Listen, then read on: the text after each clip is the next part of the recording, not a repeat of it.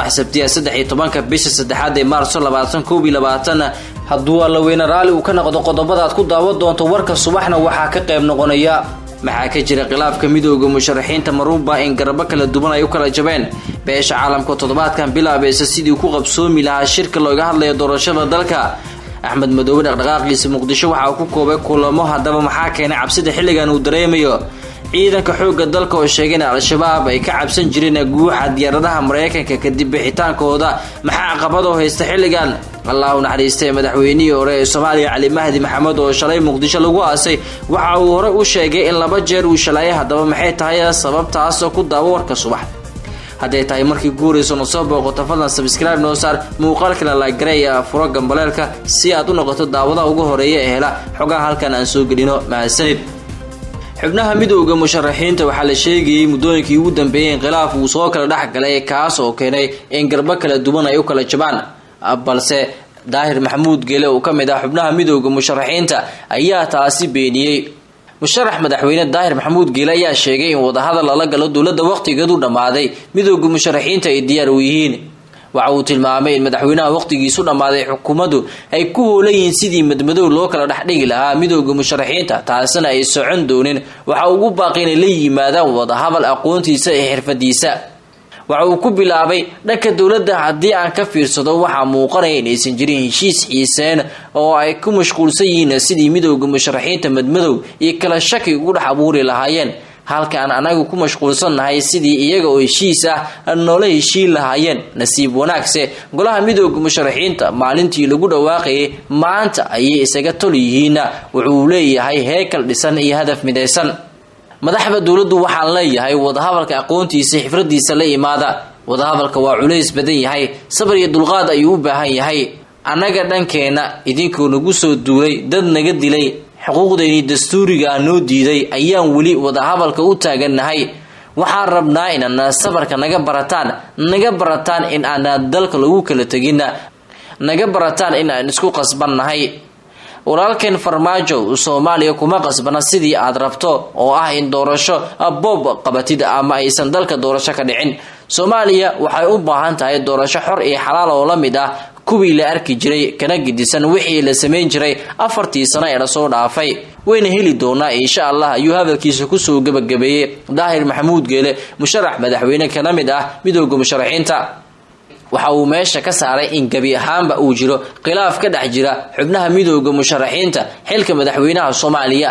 Maadaama warar aan helna ay sheegayeen in xubnaha midooda musharaxiinta ay saddex garab u kala jabeen midooda musharaxiinta kadib fashilkii soo wajahay wadahadalkii xukuumadda xirgaarsiinta ay la lahaayeen waxaa muuqata in dhaqdhaqaaqoodii siyaasadeed uu yaraaday. Marka laga reebo baaqi ay u direen xubnaha caalamka oo ay kaga hadleen arrimaha doorashada dalka xilligan meesha ay marayso.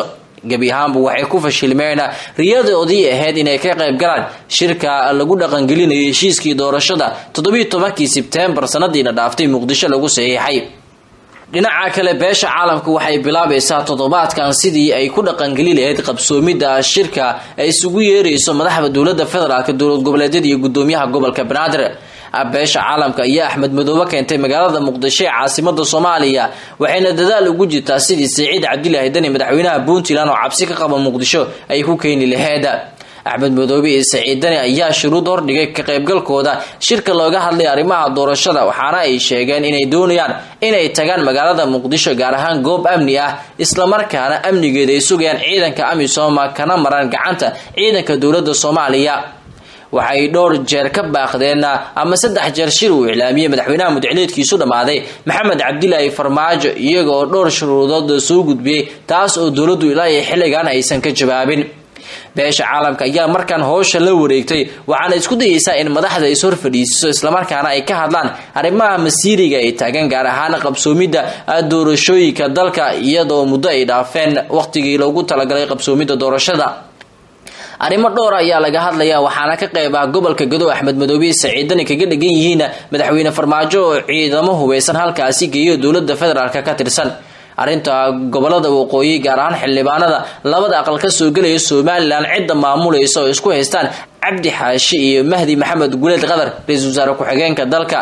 Arrinta guddiga doorashooyinka lagu murunsan yahay oo la aaminsan yahay inay ka buuxaan xubno ka tirsanaa ololihii doorashada. Madaxweyne maxamed cabdilaahi farmaajo sanadii labada kun toddobiyo tobankii caqabadahaas marka laga soo gudbo waxaa sidoo kale ka hadal u baahan dhaqangelinta heshiiskii toddobiyo tobankii sebtembar muqdisho ay ku gaareen madaxda iyo sidoo kale ka hadalka ama ka doodista warbixintii ay soo gudbiyeen guddiga farsamo ee dhinacyadaas ka socday magaalada baydhabo ku shiray shan iyo tobankii lix iyo ee sanadan beesha caalamka waxay xusuldub ugu jirtaa sidii shirkan ay ku qaban lahayd iyadoo madaxda maamul goboleedyada u yeeraysa waxaana lagu wadaa in dalab ay u gudbiso. Madaxweynaha soomaaliya madaxleedkiisu rumaaday maxamed cabdilaahi farmaajo balse waxay su'aasha ka taagan tahay aqbalaada farmaajo ee ka qaybgalka shirka axmed maxamed islaam axmed madoobe madaxweynaha dowlad goboleedka jubbaland waxa uu ku soo aruuray magaalada muqdisho caasimada soomaaliya isaga oo kulamo wada balse dhaqdhaqaaqiisa kale waa uu yaryahay axmed maxamed islaam axmed madoobe waxa uu shalay ka baaqday janaasada allah u naxariistay madaxweynihii afraad ee soomaaliya. Cali mahdi maxamed oo magaalada muqdisho ee caasimada soomaaliya aas qaran loogu sameeyey.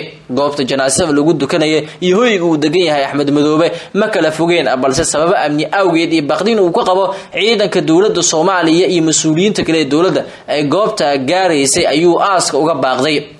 Waxaana la sheegayay in saacadihii la soo dhaafay sidoo kalena uu la kulmay xubnaha guddiga aaska iyadoo loo maleynayay in axmed madoobe aaska uu ka qaybgeli doono balse taas ma aysan dhicin.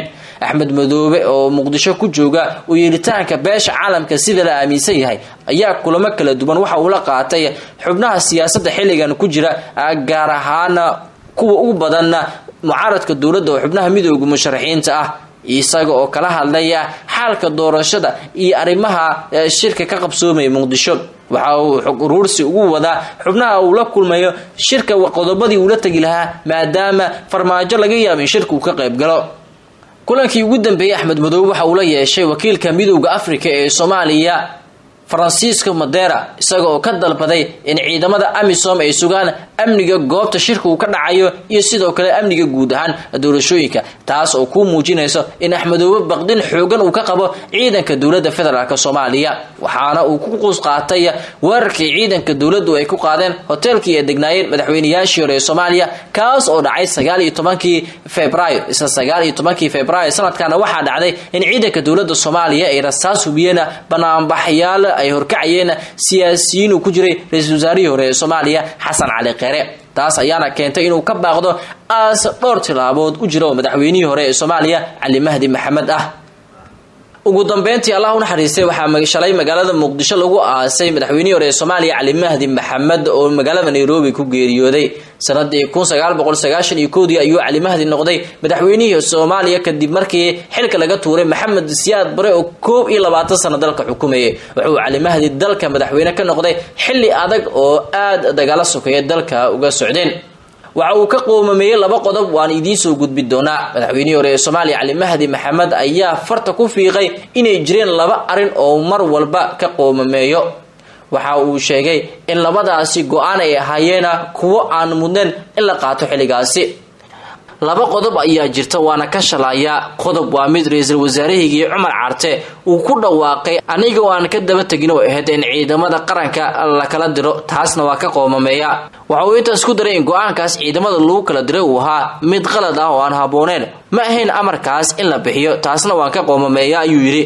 Tan labaadna waxa ay tahay sanad gudihiis ayaan doorasho ku qaban rabay madaxweynihii hore ee soomaaliya cali mahdi maxamed ayaa sheegay in markii jabuuti lagu soo doortay isaga uu doonaya in muddo kooban xilka hayo. Wuxuu xusay in shirkii jabuuti isaga lagu soo doortay xitaa uusan ka qaybgelin balse ergadii halkaasi ku shirtay isaga ay doorteen. Wuxuu intaa ku daray inuu qorsheynaya in doorasho sanad gudihiisa dalka kaga hirgeliyo laba sano haddii aan anigu laygu simi lahaa qorshayga wuxuu ahaa in muddo hal sano gudaheed inaan doorasho sameeyo xukunkana aan wareejiyo iyadoo mar dambe aan isu soo sharxin ayuu sheegay cali mahdi inuu ka qoomameeyo. Labadaas qodob ayuu sheegay inay ahaayeen arrimihii ugu waaweynaa uu ka qoomameeyo madaxweynihii hore ee soomaaliya rabbi ha u naxariiste cali mahdi maxamed guud ahaan qodobkaasi ay u dambeeyey warka subax. Waxaan ku xasuusinayaa hadee tahay markii guuraysan oo soo booqato inaad sabskraib noo saarto muuqaalkana aad la garayso gableelkana aad u furato si aad u hesho xogaha halkan aan soo gelino waqti waliba. Mahadsanid